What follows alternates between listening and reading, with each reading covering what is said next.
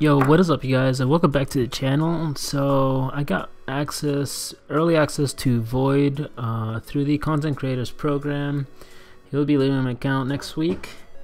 But meanwhile, I'd like to present some of the interesting things that Void brings to the table. So Fear of the Void, once you get 6 um, unique debuffs, um, it turns to 120% attack, uh, passive fury, which is nice. Uh, here is uh, intimidating presence debuffs. Petrify is the one that is having the biggest impact on how I view him. Um, but besides that, basically spam SP1. Um, I, I typically don't use the SP2 or the SP3. I think SP1 spam is going to be the way. Anyways, uh, let's get onto the gameplay. That way you guys can see um, some of the interesting interactions with this petrified debuff. Alright, so Magik. Um, this Magik has, uh, I'm not sure if it's level 4 or level 5 uh, Mystic Dispersion. Um, but with the Petrified debuff, uh, once you get two stacks, uh, it will reduce Magik's um, any kind of heal ability down to zero but because I have um, the despair mastery she'll actually be losing health with two stacks of petrify uh, because it's actually additive. So as you can see um, the degen is just taking away her health and then uh, I push her to two bars and she gets limbo and I'm taking a lot of damage but check it out. As soon as the limbo expires it actually bombs herself and uh, she kills herself with her own limbo.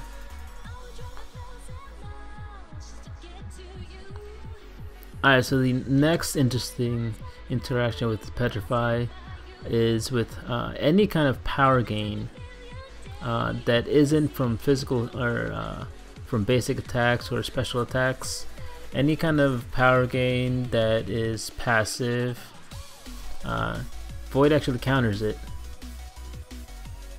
So you can see right now he's gaining his usual power gain, which uh, is really annoying in Alliance War and in and also in AQ as the mini boss, but with just one petrified debuff, it's so noticeable how low his um, uh, power gain is just with one, and with two, his power gain is pretty much gone.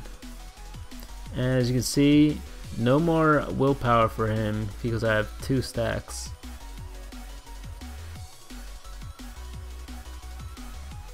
This degeneration that he has on it, it's just it's really dwindling him down too. Um, but yeah, I, am really liking Void. I'm thinking of going for him for, as a 5 star, probably taking him up to rank 455. Uh, Alright, so this next fight is with Loki and Uncollected. This Loki has Bane. That's uh, the reason why I don't initially attack because I want to have um, at least one or two debuffs before I attack him. That way uh, I don't have to wait so much for uh, Petrify. So that is one of the problems is that because it is RNG, uh, it's possible to not get petrified until the fifth, fifth uh, debuff.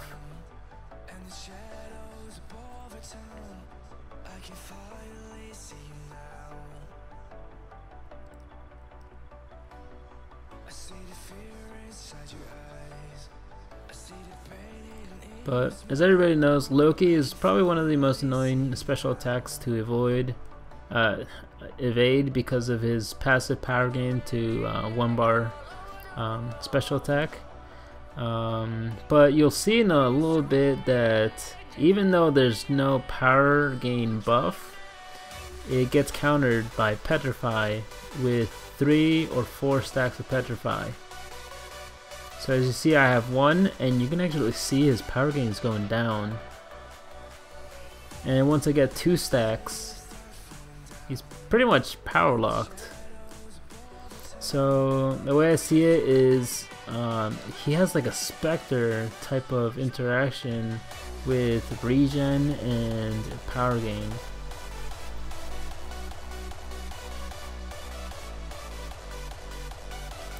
Now, how would this be applicable? Well, we've got Buffet nodes in Alliance War.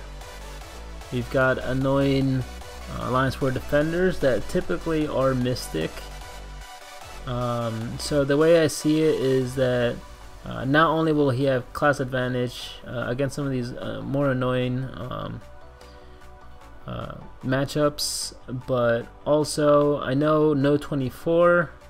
Uh, usually you'll see an Ultron, but um, along with Petrify, he can also put in a Dexterity debuff, uh, which would reduce evade by 30% per stack.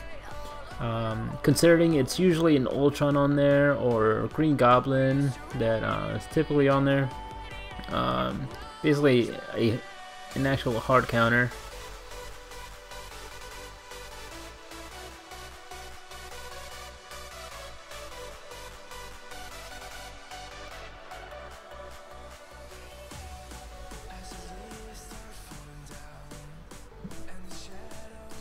So as you can see, the three unique buffs, uh, you got uh, the dexterity one, you got the fatigue one, and then you also have the last one, which is petrify.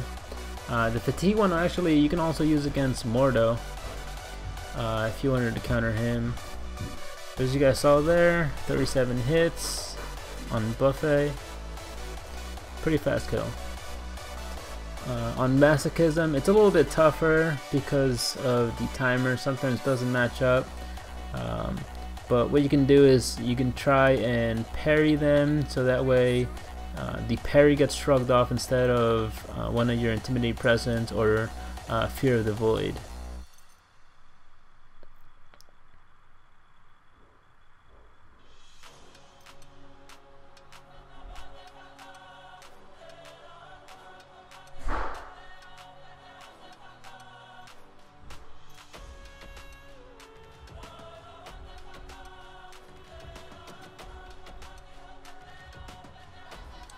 So I believe in 5.2.4 it's 5% health, or maybe it was 7%. Uh, but I think in Alliance War it's 10%, I'm not completely sure. So it'll be a lot more noticeable in Alliance War, um, especially against regen champs.